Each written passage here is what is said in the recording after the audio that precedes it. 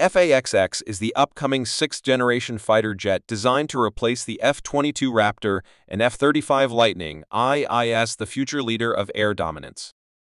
Interestingly, while the U.S. Air Force has traditionally been the frontrunner in advanced aircraft development, it's the Navy that now appears most prepared to win the race toward the next-generation stealth platform. With increasing demands for better stealth, longer combat range, and more cost-efficient design compared to current models, the F-A-XX represents a bold new step into the future of aerial warfare. From the concept images released to the public, the aircraft adopts a blended wing body, BWB design with no vertical tail surfaces and approach meant to drastically reduce radar visibility.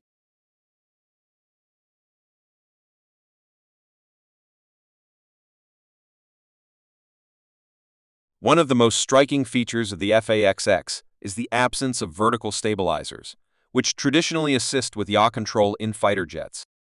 Instead, this new design relies on advanced aerodynamics and digital flight control systems to maintain high maneuverability without sacrificing stealth. The engine inlets appear fully recessed, a likely measure to reduce resonance that can be picked up by low-frequency radar.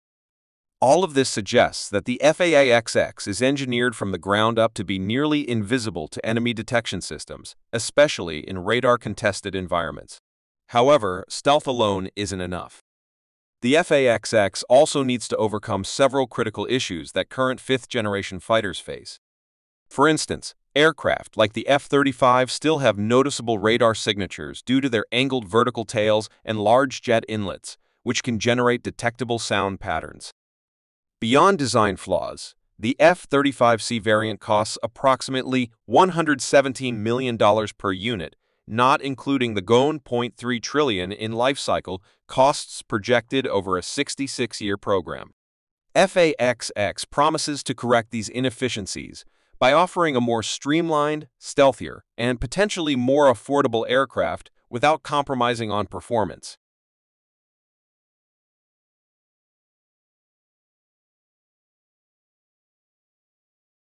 The challenges the F-A-XX must overcome extend far beyond cost and stealth.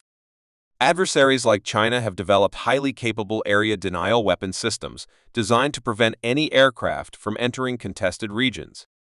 The DF-21D, for example, is known as the world's first carrier killer, capable of delivering a 600 kg payload over 2,150 kilometers. It has since been followed by the DF-26BE, which reportedly carries up to 18 kg and reaches distances of 4,000 kilometers. Even more alarming is the DF-ZF hypersonic glide vehicle, which can reach speeds of Mach 5 to Mach 10 and travel up to 1930 kilometers well within reach of key U.S. assets in the Pacific.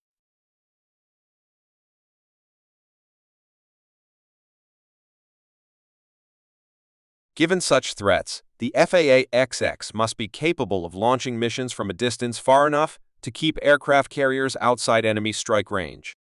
The F-35CE, for example, has a range of approximately 1,200 nautical miles with a combat radius of just 600 nautical miles, leaving it dangerously exposed if deployed too close to Chinese-controlled areas. The FA-XX, in contrast, aims for a combat range exceeding 1,000 miles. This extended reach is essential for enabling safe carrier-based operations while maintaining the ability to strike deep within hostile territory. To achieve this kind of performance, the FA-XX is expected to be powered by next-generation adaptive cycle engines, rather than conventional turbofan engines like the F-135 used in the F-3045. Adaptive cycle engines, a CE can shift airflow dynamically to act as both a turbofan and a turbojet, optimizing for either fuel efficiency or high thrust, depending on mission demands. These engines are projected to propel the FA-XX beyond Mach 2 and reach altitudes around 65,000 feet. While prototypes like the XA-100 are still under development, they represent a major leap forward in propulsion technology and could redefine fighter performance. In addition to raw power and stealth, the FA-XX will come equipped with a sophisticated suite of electronic warfare and sensor systems. Passive infrared search and track, IRST technology will allow the aircraft to detect enemy heat signatures without emitting signals of its own. Furthermore, the FA-XX will be capable of advanced electronic attacks such as radar jamming and signal disruption, while its sensor fusion systems will compile all battlefield data into a streamlined pilot interface. This will empower pilots to make faster, more accurate decisions in the heat of combat, even in complex threat environments. The most revolutionary feature of the FA-XX is its integration with unmanned systems, specifically the Loyal Wingman or Collaborative Combat Aircraft, CCA concept.